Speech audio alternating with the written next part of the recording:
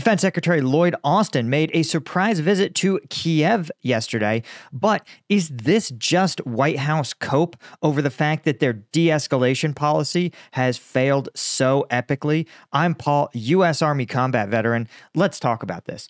Okay, so this the overall contours of the story are this. Defense Secretary Lloyd Austin arrived in Ukraine on an unannounced visit. This is of course pretty standard security procedure, right? This is not likely not an unplanned visit. This is uh, but I strongly suspect that it was probably planned uh, shortly after the announcement of North Korean troops entering Ukraine, uh, or at least when U.S. intelligence realized that was happening, because the Ukrainians likely want some reassurance from their largest and most powerful partner. Uh, now, of course, Lloyd Austin showing up, right? They don't want to give the Russians notice that there's going to be a U.S. Defense Secretary in uh, Kiev, though, as we've talked about, uh, it's actually likely that within about 24 hours of his arrival, the or, or prior to his arrival, the Russians were notified to say, "Hey, listen, uh, don't do something stupid that will escalate this war in a direction we can't stop." But this alone is just just sort of what kills me, right? And and, and we'll talk about why. So Austin met with you with Zelensky and the Ukrainian Defense Minister Umerov uh, to discuss Ukraine's weapons needs and how the U.S. can continue to support the country's military over the next year. This is from a small group of reporters uh, that traveled with the secretary to Kiev. Um, Secretary said it was also a moment to quote step back and look at the arc of the U.S. Ukraine relationship over the last two and a half years, right? And of course, the secretary noted that things in Ukraine are very tough uh, heading into the winter. Um, and this is sort of the. Uh, it's hard to read sort of the tea leaves here. Uh, Lloyd also also said, "quote Under President Biden's leadership, the United States remains committed to keeping up this support, uh, and I'm pleased to announce today a commitment of 400 million dollar presidential drawdown package to provide your forces with munitions, armored vehicles, and anti-tank weapons." And one of the things that I always talk about, guys, is a presidential drawdown package is not the same thing as $400 million of tax of taxpayer spend. It is taxpayer spend of leftover war munitions. That is what a drawdown, presidential drawdown authority grants them. It says, listen, if the military is retiring gear, the president has the right to give it to somebody, right? Just like if you go and decide to replace your 1996 Toyota Corolla with something less reliable like a Tesla, then you have the the president in this case, or in this scenario, you would could give your Toyota Corolla to your little brother and say, "Listen, this bad boy still has a few hundred thousand miles on it, so you should take care of it." And that's what we're doing. We're saying, "Listen, we bought all this shit basically for the war in Iraq and Afghanistan. Uh, you guys want some of it?" And the Ukrainians are like, "Yes." So again, when when you see them cope about your taxpayer money being spent in Ukraine, if or if your uncle at Thanksgiving starts to roll out those talking points, you can remind him that that four hundred million dollars was actually spent on Iraq and Afghanistan, and it just so happens to be being put to better use, right? So this these sort of statements are cryptic, but also I don't. There's some stuff in here that I don't love, right? One, Austin's like, it's remarkable that Ukraine's been able to do what it's done, implying that yeah, it's been able to do that, of course, because we have supported them from the very beginning. We've rallied, rallied 50 countries to be a part of that support. So what he's saying is, man, you guys did a good job, which sounds a little bit like, like you've already exceeded expectations. So don't worry about winning, right? And they say, and it's a reminder to say, listen, you only were able to do this because of what we've done, right? Again, in part, the US seems like they may be going there to say, listen, there's a limit to what you can ask us to do. And this kind of annoys me. Uh, in fact, it very much annoys me. Um, and as CNN points out, right, the path to Ukrainian victory is pretty murky. Uh, and it's a little true. But again, okay, okay. Let's. I'm going to break down my feelings on this because I just I'm limited in like how much I can tolerate it. But here's the thing, guys. Where the U.S. support I think falters, uh, we show up, and I mean you, the viewer, and me, right? We've partnered with Ukraine Aid Ops. This is a US registered 501c3 charity, totally tax deductible, that raises money for drones, drone jammers, and more for Ukrainian units. And this fundraiser is critical because we are supporting the units who are defending Pokrovsk against Russian advances. We know that Putin has personally ordered the Russian military to take Pokrovsk by the end of September. So already the Russian MOD is three weeks behind schedule, thanks to the tremendous efforts of the 25th and 14th Brigades. And so we're going to help them out. We're going to raise money for drones, drone jammers, range extenders, power stations, anything they need, right? And because it's a 501c3, it's tax deductible. But here's the best, the two best parts. One, if you donate enough, more or less, 250 is about a uh, one FPV drone. If you donate enough to buy a drone or two, they'll send you unit patches as a, as a thank you, which is pretty sick. Uh, right? As I always joke, right? I've got to accrue more dad lore, and there's no dad lore like saying, Dad, why do you have 16 patches from Ukrainian infantry brigades? And you go, Well, let me tell you. But here's the real thing if we can raise a 100 grand, I will deliver the drones to the units myself. Yeah, that's right. So if you want to send me to the front lines of Ukraine, uh, you know, make those donations, right? We'll raise the money, we'll get these units what they need, and we'll stick it to Putin and not let him get his aspirational goal of Pokrovsk. Now, let's talk about this. Listen, I've been dancing around this all video. Here's my gripe. My gripe is that the US has had this policy that said, we'll help you out, but we're not going to, but there's limits, right? We're, we're going to help you out in these specifically delineated ways. And the problem is that one, this, the Russia's invasion of Ukraine is a referendum on a reshaped world order, right? One of the things that the examples that I give is the Spanish Civil War, right? Spanish Civil War took place just a few years before the outbreak of World War II, right? It took place in the mid to late 30s. And in that, you had two sides. You had the Spanish military who expressly were like, We are fascists. We believe in fascism. And you had the Spanish Republicans who said, We believe in a, an electoral democracy, right? And the, the world looked at this, particularly Europe. They said, Listen, fascism has a lot of, they say a lot of things about how powerful they are, but can they really beat electoral democracies?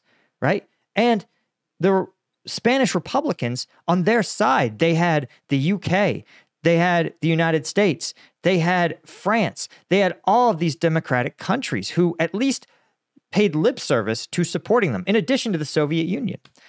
And on the other side, the Spanish military, the fascists, they had Germany, right? And what happened? Well, the answer is that the Republicans got their asses kicked. Why? Because their allies, their allies offered them milk toast support, right? The Soviet Union was the only country that contributed actual military aid. Everyone else contributed a little bit of money, uh, did some condemnations, some sanctions, right? They they did a bunch of half-assed nonsense for, as their and that constituted their support. In contrast, right, the uh, Germany of the 1930s, right? Run by the guy who will get me demonetized if I say his name, that Germany. They sent whole ass military units. The entire, uh, nearly the entire Spanish Air Force was was German pilots. They were sent there to try out the Germans' new tactics, strategies, and gear, right? They did. Uh, they provided an insane level of support, equipment, literal boots on the ground, right? And so the Globe saw this and they said, "Yo, when the Spanish, when the Republicans lost, the rest of the globe said, you know what? Democracies are weak. Human rights are make you weak. A commitment to things like freedom of speech or the right to vote or multiple parties, they just make countries weak and pathetic. And they're going to lose to countries with strong dictators who can who don't respect human rights. And the fear or if, if fear is even light, that's, I think, what's happening in Ukraine now. People are looking and saying, listen, what does it mean when the West commits to supporting somebody? What does it mean when they say, hey, the West eh, backs you up? Right. And what does it mean when an autocratic country, right, a dictatorship like Putin's, right? And look at his friends North Korea, Iran, China, all countries run by dictators. What happens when they beat the shit out of a country that is backed by the West? What does that say for the rest of the world? What does that message that send China, who says we want to take Taiwan, we want the Spratlys, we want all every landmass in the South China Sea, right? It says that while the West's support is, you know, financial and political, at the end of the day, it's not that serious. The West's support is always weaker than sincere actual commitments. Again, North Korea is willing to send 10,000 troops, fund all of their artillery shells. How is North Korea providing more committed support to Russia and Putin than the entire Western world can provide to Ukraine? That's what irks me here, right? Is the lack of commitment by the White House. And here's the thing, the White House part of the reason they've said we don't want this to we don't want to go all in and they they always have, guys. The the lines have always moved as they've always moved though only in response to Putin, right? The, we used to say the the U.S. said, "Well, we don't allow Ukraine to strike into Russia because that's Russian territory. We don't want this war to escalate." What happened? Well, Putin took advantage of that. He exploited it, clearly using it as a loophole to mass troops on the Ukrainian border and then push them into Kharkiv, right? And the and so the West said, "Well, okay, you played this game, right, where you just dared us to hit you. Now we're going to have to change our policies." But it happened only after Putin raised the stakes, after Putin escalated. And now it's happening again, right? We've used all of these little tools. We've slow walked our aid to Ukraine, and now we got a situation where North Korea has committed its own soldiers to this fight. That was the entire point of all of this, guys, was to not turn this war into a, a, war with a bunch of belligerents. And yet here we are. The war did become one with a bunch of belligerents, but it was done on Putin's timetable. Putin was the one who got to decide, not anyone else.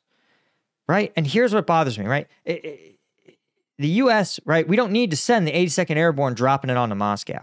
If the US was willing to say, listen, Ukraine, we are willing to provide a Bosnia style air campaign to eliminate Russian forces in eastern Ukraine. We'll give you F 35s, or we won't give you, we will operate F 35s and F 22s to hit targets. You can make recommendations. We will, we will confirm the targets.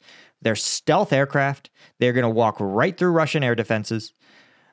And yet, right, we don't we don't do that. Why? Because Putin's going to escalate. What what does that mean? What's he going to do? Draw in North Korea again? Right? Maybe it's time the US actually supported its allies instead of this this deferring, letting dictators dictate how the US runs. So this is this is what aggravates me about the White House. I think the White House is starting to is coming to the reality that it's half-assing things, it's half-ass support, right? Is is so inadequate. And and don't get me wrong, I'm also reserved some some condemnation for Europe. The problem is Europe doesn't have anything to give. They don't have an domestic arms manufacturing. They don't have a large sophisticated military. They don't have presidential drawdown authority. They don't eh, Germany at the start of this invasion, Germany had less than 100 working tanks. They had no working aircraft, no combat aircraft that could fly. And so you sit there and go, well, they have nothing to give because they can't even defend themselves. So this is the reality that we've sort of boxed ourselves into. And so I'm sort of mad because in this presidential election, there are two options. There's the guy who says, just give Putin what he wants. He seems pretty serious, guys right? These dictators, they really, you know, they're really committed, guys. I think we should just bail. They're really tougher than we are. That's that is Trump's unironic stance. He literally was like, "You don't understand. Putin will fight forever." Like, dude, we're the United States. We we won the Cold War. Right? Two, you've got Kamala Harris who says we're going to keep slow walking aid. We're just going to gradually trickle it in, right? One's better. It's better to support you, your friends than to fuck them. But you know what's best is to actually show up for your friends. Actually show up. I don't know. Maybe I'm just a crazy person.